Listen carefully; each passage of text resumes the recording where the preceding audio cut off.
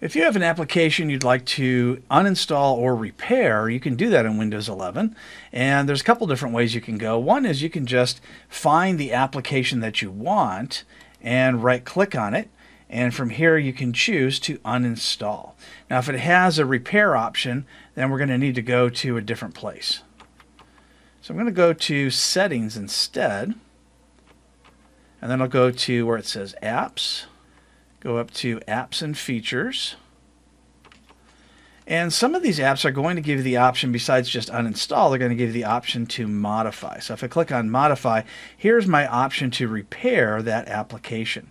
So I can click on next, and it'll go through a repair.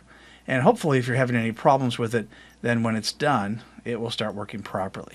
If you don't see that option to modify or repair, then it just isn't possible with that one, and you just need to uninstall it and then reinstall it when it's all done. So that is how we either uninstall or repair an application in Windows 11.